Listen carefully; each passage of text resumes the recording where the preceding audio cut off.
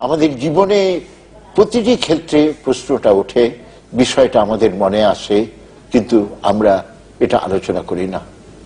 কেন করি না জানেন? কারণ আমরা ভয় পাই। এবং শুধু ভয় পাই বলব না, আমরা এই বিষয়টাকে এড়িয়ে চলার চেষ্টা করি। যতটা কম বলা যায় তত ভালো। বলতে যখন হবেই, তখন বলি বিষয়টাকে মৃত্যু। মৃত্যুকে এড়িয়ে চলি আমরা। মৃত্যুর কথা আলোচনা করি না। ছোট ছেলে মেয়েদের সামনে তো এই শব্দটা উচ্চারণই করা যায় না। এটা একটা সামাজিক, একটা ট্যাবু। অথচ মৃত্যুটা একেবারে অপ্রতিরোধ আমাদের জীবনের একটা অঙ্গ। এখন এই মৃত্যু নিয়ে নানা ধরনের গবেষণা হয়েছে। অথচ আমরা এই বিষয়টা কোনো সময়ে আমাদের করা আলাপে আনতে পারিনি। আজকে আমি পেরেছি এবং সেটা সম্ভব হয়েছে একজন ডাক্তারের জন্য, ডাক্তার মোহাম্মদ সামির হোসেন। ডাক্তার মোহাম্মদ সামির হোসেন শুধুমাত্র ডাক্তার না, তিনি একজন মনোবিজ্ঞানী এবং তিনি ডক্টরেট করেছেন। সুতরাং তাকে তার পরিচয় ডক্টর সামির হোসেন হিসাবেও করা যায়। সাইকেট্রি বলে যে বিজ্ঞানটা আছে, তিনি সেই সাইকেট্রিস্ট এবং একই সঙ্গে তিনি চিকিৎসক। আমাদের এখানে medical college for women and hospital উত্তরাতে একটা একটা কলেজ হসপিটাল আছে, সেখানে তিনি অধ্যাপনা করেন। তিনি দুটো বই লিখেছেন, দুটো প্রধান বই লিখেছেন, তাছাড়া অসংখ্য তার রচনা আছে, এবং এই বিষয়টাতে তিনি অত্যন্ত বুৎপত্তি অর্জন করেছেন বলে আমি মনে করি। আপনাকে আমাদের করা আলাপের সেটে আমন্ত্রণ পেয়ে আমি খুব খুশি, এবং আমি স্বাগত জানাই আপনাকে। ধন্যবাদ। আচ্ছা মৃত্যু বিষয়টা নানাভাবে গবেষণা করা হয়েছে। আপনি যেহেতু একজন চিকিৎসক, মনোবিজ্ঞানের পাঠটা আমরা পরে আসব।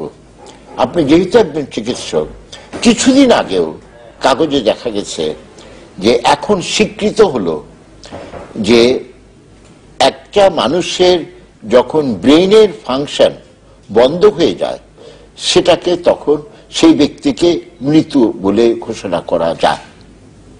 আপনি কি এটা মানেন? না, আসলে ধন্যবাদ আবার আপনাকে। আমার এখানে বক্তব্য খুব সহজ। আমি যদি কোনো একটা চার পায়ে পশুর কথা বলি, যেটার নাম আমি জানি, আমি কখনো দেখিনি। আমি যেটাকে কখনোই দেখিনি, আমি সেই জিনিসটার স্বরূপ যদি আমাকে বর্ণনা করতে হয়, তাহলে সেটার কাছে গিয়ে আমাকে উপস্থিত হতে হবে। এবং মৃত্যুর কাছে কিন্তু শুধুমাত্র তিনি উপস্থিত হন, যিনি মারা গেলেন। তার চারপাশের লোকজন ওই রিলেটিভ চেঞ্জগুলো দেখেন, যে এই এই পরিবর্তন ওনার মধ্যে আসলো এবং এগুলোর সাপেক্ষে তাকে মৃত ঘোষণা করা যেতে পারে।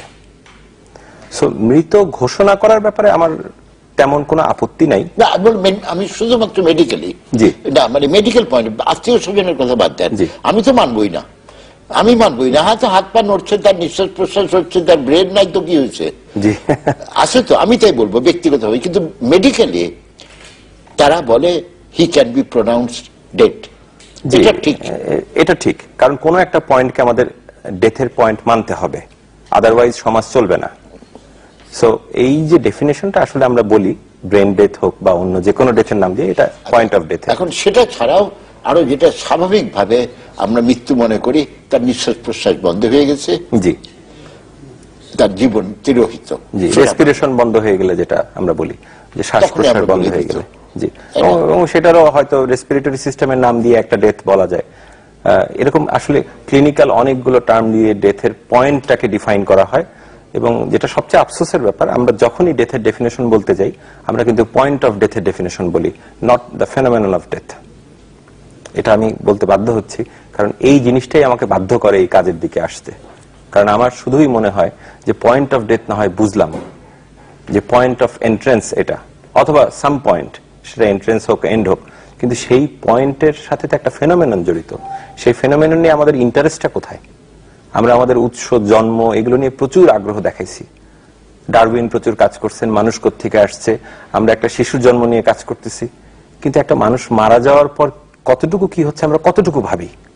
আমাদের আপনজনকে যখন আমরা কবর দিয়ে আসি, আমরা যারা ধর্মের দোহাই দিয়ে বলি যে ওনার এই এই পরিবর্তন হওয়ার কথা, আমরা কি কেউ কবরের পাশে দাঁড়ায় একবার চিন্তা করি যে এই শব্দগুলো পাচ্ছি না কেন? এই পরিবর্তনের আওয়াজ কেন পাচ্ছি না? হয়তো সব ব্যাখ্যাই দেওয়া আছে। কেন শব্দগুলো পাওয়া যায় না? কিন্তু আমরা ব্যক্তিগতভাবে কি আদৌ কোনো ইন্টারেস্ট শো করি? সো আমার কাছে যেটা মনে হয় যে মৃত্যু জিনিসটা হচ্ছে আমাদের শত্রুর মতো একটা জিনিসে পরিণত হয়েছে।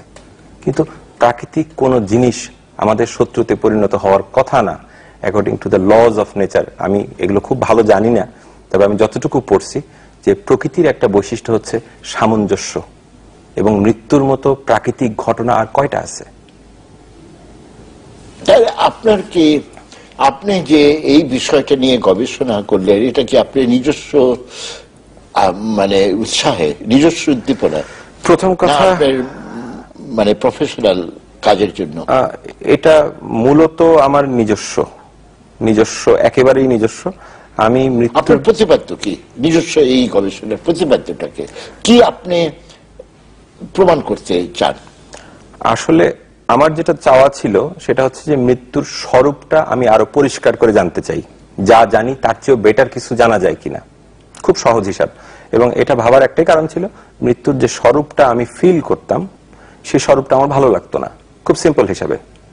আমি বহু চেষ্টা করেও ভালো লাগাইতে পারিনি। এবং আমার প্রশ্ন ছিল, প্রকৃতিতে অবধারিত এরকম জিনিস থাকবে যেটা মানুষ সহ্যই করতে পারবে না? এটা প্রকৃতির নিয়ম হওয়ার কথা না। এবং এর ফলেই আমি মৃত্যুর স্বরূপ জানার ব্যাপারে আরও পরিশ্রম করব, এটা ঠিক করি। এবং আমার মনে আশা ছিল যে আমি প্রকৃতির ব্যাপারে প্রচণ্ড বিশ্বাসী। আমার বিশ্বাস যে নেচার অলওয়েজ খুব পজিটিভ জিনিস।